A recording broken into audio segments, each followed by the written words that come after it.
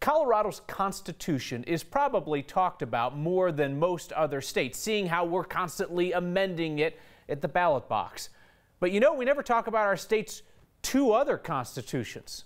Politics guy Marshall Zelinger takes a step behind the camera lens to give us a little history lesson.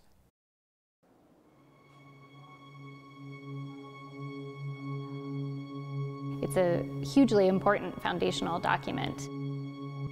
December 20th, 1875, the Constitutional Convention was convened.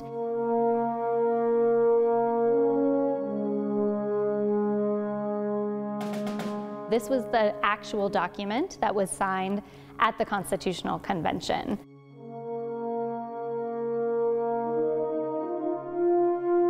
This is the original state constitution of Colorado. My name is Julie Peterson. I am a public historian and exhibit developer here at History Colorado. The constitution itself is actually um, very well preserved. It's got its own page protectors. It's still a fragile, um, over 100 year old document. It's on loan to us from the state archives. The state constitution was written over a period of about three months.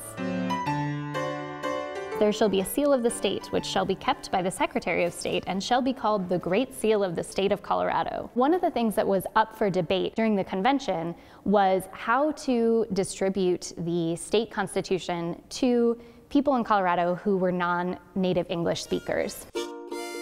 In the 1870s, about 17% of the population of the state of Colorado were foreign born, and a good majority of those folks were actually German speakers. About 20% of the state population was either born in Mexico or in the New Mexico territory. And so most, if not all of those people would have spoken Spanish.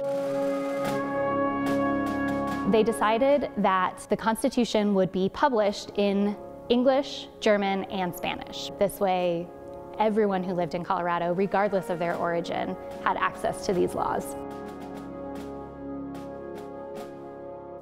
Isn't that interesting? The German and the Spanish versions of Colorado's Constitution are on display at the El Pueblo History Museum in Pueblo. The English version will be at History Colorado for the next few years, unless the state legislature has something to say about that.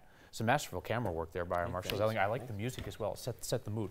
Tell me about this plan to put the Constitution at the state capitol. Well, it's very Mission Impossible style yeah. where you need to spend a lot of money at first. There's an estimate of up to $70,000 right now, which would be a little bit too much. Three cameras, uh, UV protected, oh, light yeah. protected, a humidor. Probably have to go to Coors Field to learn a little bit about that. But it has to be in a safe environment at the Capitol to make sure it doesn't get messed with. What I would like to see is one of those like mechanical functions that I could actually flip through the pages, which would probably add another couple thousand dollars to that tab. It probably didn't help that that guy broke in and smashed the bus just really recently. But this is just the original Constitution, not the amendments through the years. Oh, and that was a, an interesting point that was brought up as this was debated at the Capitol, that yeah. it is the original one because you would need a forklift to get the current one. Sure, sure. Doug, Douglas Bruce would have to brush up on his Espanol to rewrite Tabor in Spanish. All right, thank you, Marshall.